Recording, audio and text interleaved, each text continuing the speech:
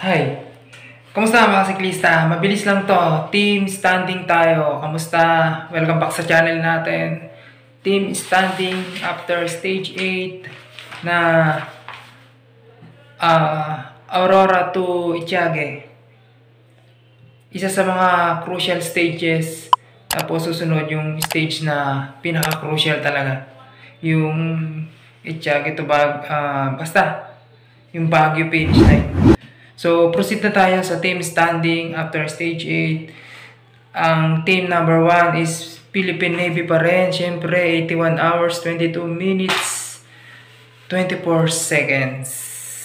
Excellent Noodles. Ang sumunod, 13 minutes behind, 54 seconds. Go for Gold, 38 minutes behind. Nueva Ecija, ito ang major-major na nagbago na Nueva Ecija team, naging pang-apat na sila, 1 hour and 24 minutes, 27 seconds behind. Sumunod ang Army, 1 hour 29 minutes. Ilocos Sur, 1 hour 51 minutes behind. Di Reyna, 1 hour 51 minutes behind.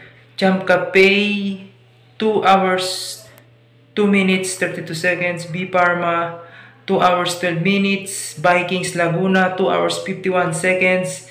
Vantage Sports, 3 hours 10 minutes.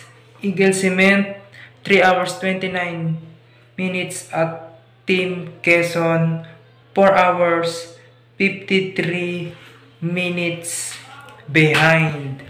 Yun ang ating team standing after stage 8 na pinaglalabanan sa Ronda Pilipinas.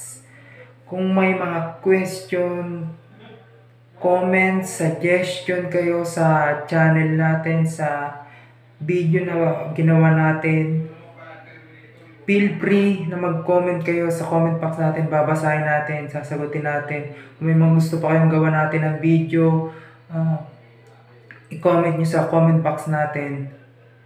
Hanggang sa susunod na video, kita-kits tayo ulit doon. God bless.